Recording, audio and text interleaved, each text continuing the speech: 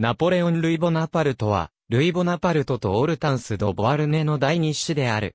兄のナポレオン・シャルルは1807年にわずか4歳で死去したため、後を継いで、ホラント王国の王太子となった。また、当時はまだ子のなかった皇帝の最年長の甥となり、1811年までは、皇位継承順位第1位であった。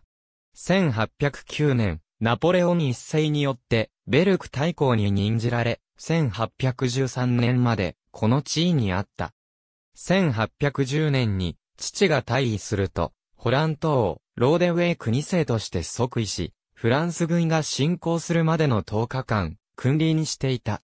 1815年、ワーテルローの戦いの後に、ナポレオンが退位させられると、ブルボン家が再びフランスの玉座を取り戻した。ナポレオン類は亡命したが、ボナパルト家は、ナポレオン帝国最高の夢を決して捨てなかった。ナポレオン類は、ナポレオン一世の長兄、ジョゼフの末娘で重視にあたるシャルロットと結婚した。